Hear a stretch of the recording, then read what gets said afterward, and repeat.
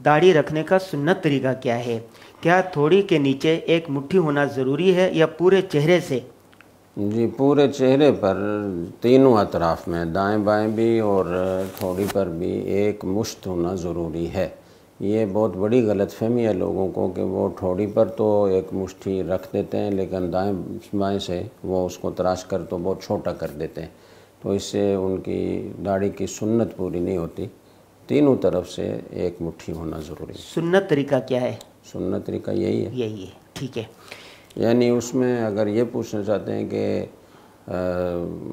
एक मुट्ठी से जायद काटना ये सुन्नत पर अमल करने के लिए ज़रूरी है? तो ये ज़रूरी नहीं है। दाढ़ी रखने की तीन सूरतें हो सकती हैं।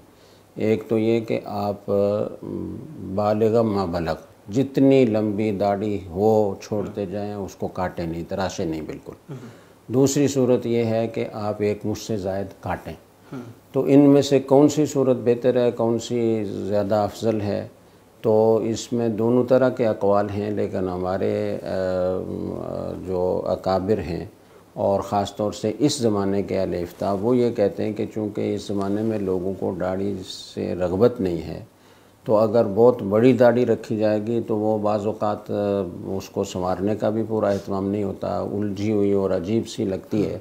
तो बजाय दाढ़ी रखने की रगबत पैदा होने के लोगों को उसे देखकर वहशत पैदा होती है।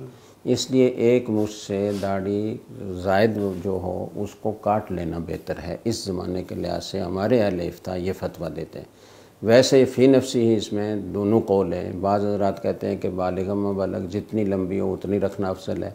बाज़ कहते हैं कि दोनों सूरतें बराबर हैं और मैंने बता दिया कि हमारे इस ज़माने के लिहाज से तीसरा जो कौल है कि एक मुश्त रखी जाए और एक मुश्त से जायद को काटा जाए।